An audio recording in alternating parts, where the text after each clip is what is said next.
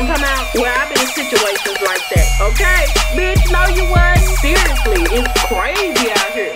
Real Hood Talk with Toya. What's up? And welcome to another episode of Real Hood Talk with Toya. OMG, we have breaking news. Word on the street is we still have 30 and 40 year olds out here on the block selling dope.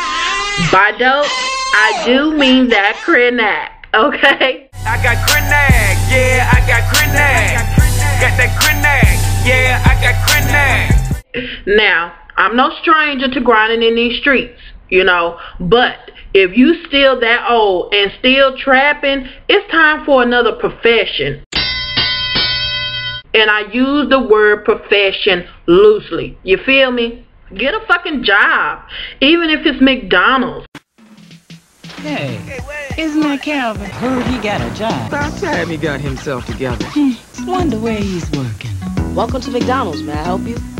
About time he got himself together. Hmm. I mean, I'm pretty sure you have a family at home, which brings me to the women that are with these motherfuckers.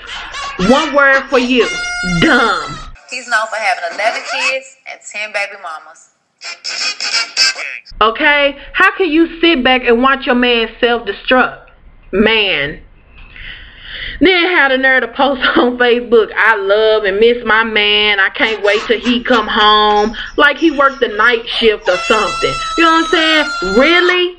If you're a real woman, you'll help him get a stable job so he can be an asset and not a liability. Message. God did not put man on this earth for you to send him money, put money on his books, and write him letters. I'm just saying that was not the purpose.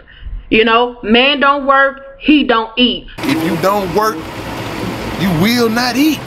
Just wake up at nine in the morning and you lay down on the couch surfing the motherfucking channels and shit until nine at night. You got to get up, get out, and get something. So if you don't work, don't eat. That was the reason that God put man on this earth to take care of his household, not to put them in jeopardy. Okay? Oh, one more thing. Let me clarify something for real.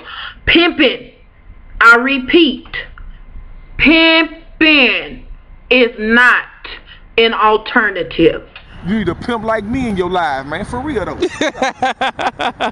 you know, out here on these streets, real man, you know, South Dallas, man, we don't respect number real bitch. Man, I don't give a damn about no fake ass hoe. Just like I don't give a damn about no fake ass nigga, man. You know, all of them is the same to me. Both of them got pussy. All the real niggas and all the real bitches, man. Y'all my family, and I love y'all, man. Just keep God number one.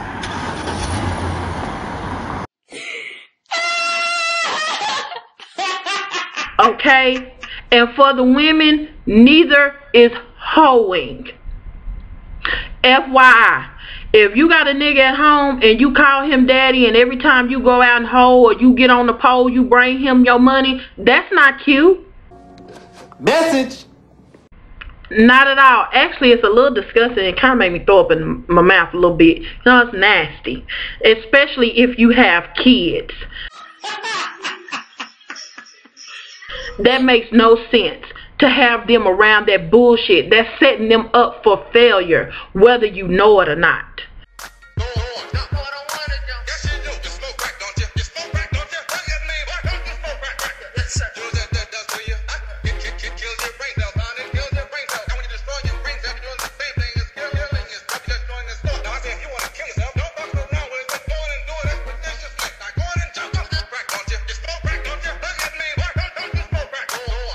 You know, bottom line is if you don't receive a W-2 every year or you don't file taxes each year, you're unemployed, boo-boo. That's just it. You're unemployed.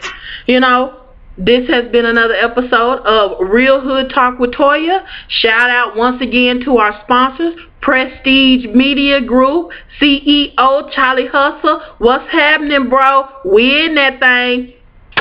Peace out.